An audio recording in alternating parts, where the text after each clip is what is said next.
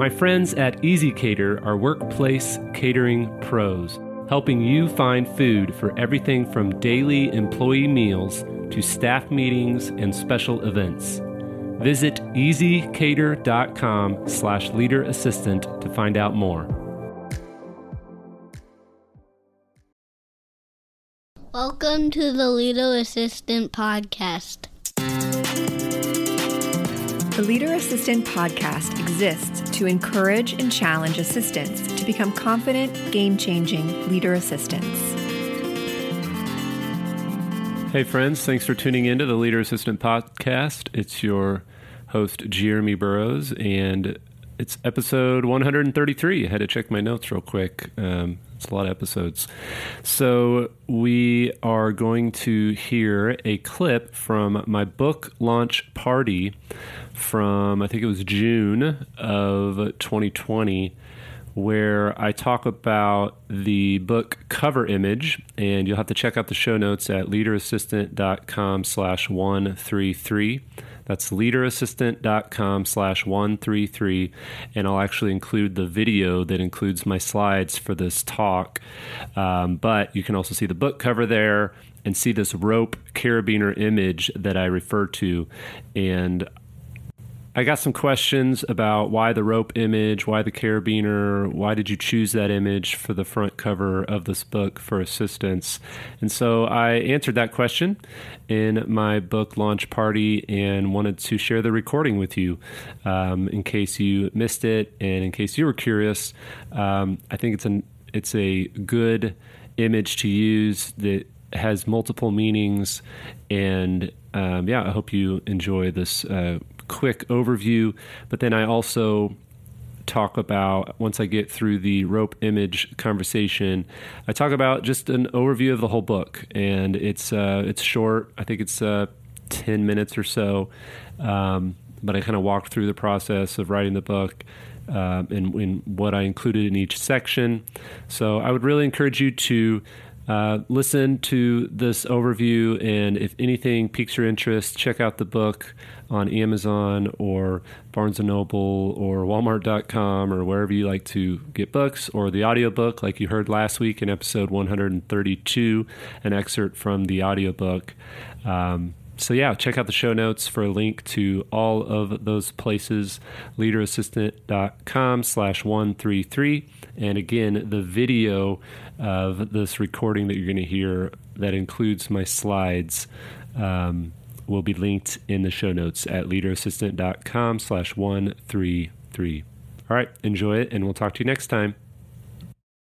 Why the rope image?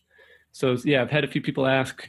Some people are like, this doesn't make sense. You know, so I wanted to kind of just share a few points as to why I chose this image, um, other than the fact that it looks really good on the on the cover from a design perspective in my opinion uh, so as assistants we we manage tension.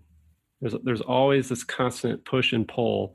And so i liked the rope because it kind of shows like we are the carabiner that kind of maintains that balance um, in a lot of different ways. And so there's this this just tension and tug but there's this steady strong um, assistant in the middle of the crazy work environments that we um, that we work in.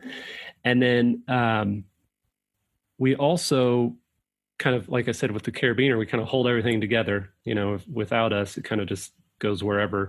Um, our executives do whatever they want company suffers.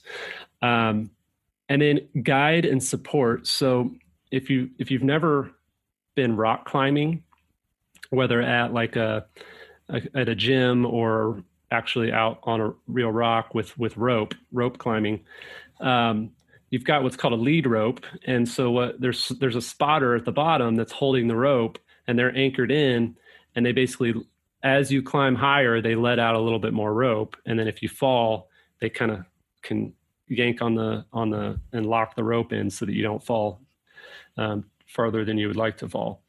Uh, so the other kind of um, tie-in with the rope was that we as EAs are like our executives are up on the wall and they're trying trying to bring their company to you know this the sales numbers or um, they want to sell the company someday, and there's these goal, all these goals that the executives trying to to meet, and we're like that lead rope spotter at the bottom that is holding on and but it's not just holding on to them and supporting them. What do the spotters do um, that are you know helping somebody climb they look ahead and they say oh your right foot put your right foot there oh put your left arm up about 10 inches above your head because you can't always see unless you're sitting back and you're down there at the lead rope. So I loved that tie-in as well because I think that's what assistants we're we're leading, we're guiding them. We're not just supporting them, um, but we are also supporting them. So we're the eyes to our executive um, as they try to reach their goals. And then the last one um, is there was kind of the prologue for those of you who have read the prologue was a story about uh, my my brothers and I and my dad hiking on a glacier, a mountain glacier in uh, Colorado, and um, my brother slipped and fell into a crevasse and disappeared, and we thought he was gone. Um, so it was just this this kind of story that I used that I then tied to my kind of career glacier um, in the book. And anyway, we didn't have the gear, we didn't have the equipment that we needed on that that day and in that trek. And so this was kind of another time where it's like, okay, this, this is kind of like a climbing rope or a hiking equipment um, tie-in where we want to be able to um, support the um, executives, but we also need support. We also need the right equipment. We also so the other the other um, guide and support analogy I like is assistant to assistant. So it's not only we're the lead rope helping our executive up the up the wall we're an assistant helping another assistant up the wall. Or we ha- or we're trying to reach our career goals. And so that's why i kind of tied that in. So hopefully that makes sense. Um, if anybody asks that's why that's why i did the rope and i'm excited for the cover. I had a really great designer team um, named erin tyler she was she was great and um, very excited about that so, just a quick overview of the book. It's called the subtitle is Four Pillars of a Confident, Game Changing Leader Assistant. And um, the four pillars, I'll just kind of go through the four pillars. Uh, so, the first pillar, pillar, I talk about embodying the characteristics. And so, what I kind of learned, my my the quick version of my story is I've been an executive assistant for 13 years or so, and after about nine years, um, my my prior executive got fired, burned out. I burned out. I decided to leave that organization and kind of hit reset. And one of the things that I realized was because people used to say, "Oh man, you're such a good assistant," and "Oh, you're you're like the rock. You're like the honey badger. You don't care. You just get stuff done." And I was just like, "All right, I'm I'm awesome," you know. And then when I left, I was like, I didn't have any network. I was burned out so then I started meeting other assistants, and I was like, I got I got a network, and I started realizing that I was like behind. Like I, I, I didn't really know what it meant to be a game changing assistant. I just knew it to me, meant to be like a solid, you know, good assistant. So what I did in this pillar is I kind of I outlined 18 essential characteristics. Um, it's kind of an overwhelming list, but it's I was trying to be quick with that list uh, and also realistic because I know that assistants require a lot of different things. But then what I did was I zoomed in on the five game changing characteristics. Um, and those are the ones that I really feel I was missing um, a lot of in my last role, and that um, what kind of makes those leader assistants really stand out from the um, from the rest of the pack. So these are the five game changing characteristics: discerning, steady, confident, humble, and future proof.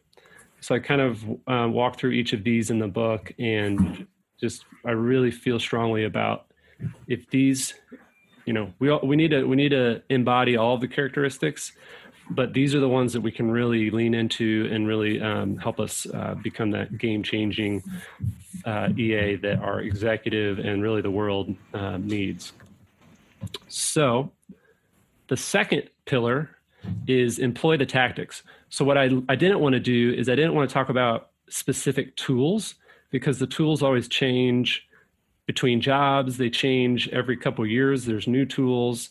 Um, so my kind of whole philosophy is that the tools you use don't really matter if the tactics you employ are flawed. And so what I tried to do is I tried to walk through all the different things we deal with time management, calendars, email, travel, communication, um, interruptions, um, goal setting, which Jillian Huffnagel, who I think is on the call, uh, she she wrote that chapter, which is awesome. Uh, negotiation, um, Al Hussein Madhani helped with that chapter. Uh, resume, um, all these different areas, and I just tried to focus on the tactics. Um, and and then you can take those tactics and apply them to whichever tools you use. So that's kind of the that's the practical, like hands-on, like here's how I manage my calendar, here's how I manage email, here's how I manage my executives, um, you know, travel, whatever. So that's that's the pillar two. Then we get into the fun stuff, uh, the relationships. So engage in relationships is pillar three, and this is where I failed. I did not have a network. I literally only knew one assistant outside of my company, and we only had one other assistant inside my company.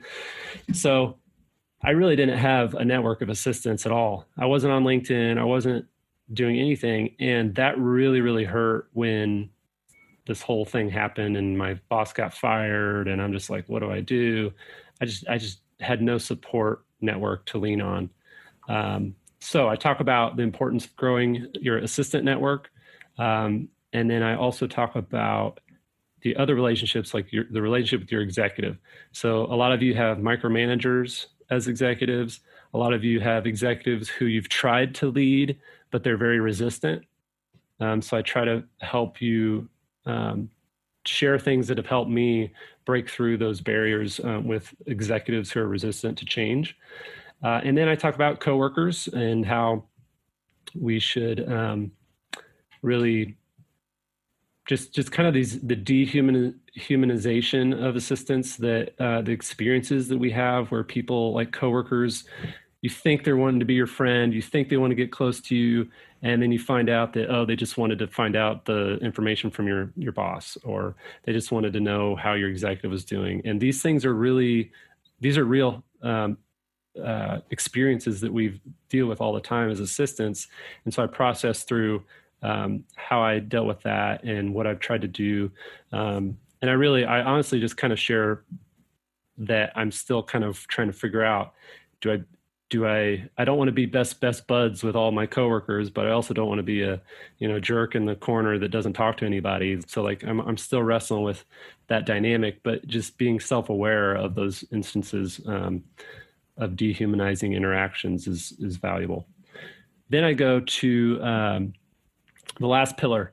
So this is kind of the most um, important pillar in a lot of ways um, because you can be a really good leader assistant practically and and produce and on paper you're great, but then you'll end up burned out like I was, where you're you know quick to anger, you're unpleasant to be around, you just don't have any you haven't done anything to kind of cultivate your creativity because you just you're just work work work work work.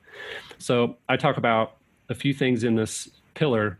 Um, i first talk about burnout creep and how it just kind of seeps through the wood floors and you know you, you may not notice it and so becoming self-aware and, I, and then helping you become self-aware about the burnout creep that might be happening in your life i talk about the signs uh, and stressors. So the stressors are the things that are probably happening or could be happening in your role that could drive you to burnout. And the signs are like, all right, I'm already on the way or I'm already burning out. These are the signs that that you might be burning out. And then I talk about antidotes. So what helped me kind of come out of that burnout, reset, refresh, get healthier, and what helps me on, you know, on, at an ongoing basis avoid burnout. And really, I'd say avoid, but I'm still trying to train myself to not say avoid because I used to say that all the time. You know, here's how to avoid burnout. Honestly, I don't think that it's possible to avoid burnout. I think that burnout happens to everyone. It's just a matter of how serious it, it is. And so, what I do think we can do is we can fight against burnout and we can resist burnout. Um, and so, we can limit the damages of burnout. So, that's kind of what I talk about in pillar uh, four. So, embody the characteristics, employ the tactics, engage in relationships, exercise self care. Um, I had a couple people post on LinkedIn saying they they sat down and read it one sitting. Um, it's I tried to make it. I had I hired a really good copy editor to just beat the crap out of it and just like delete this, delete, cut this down. I, was, I would try to make it a really um, clear, succinct guide um, for you all. So I hope you enjoyed that overview from over a year ago. Um, I'm still passionate about all those topics, and I hope you have been able to check out the book. Uh, check out leaderassistant.com slash 133 to see the video of that presentation with the slides and the book cover image and all that. Um, and we'll talk to you soon.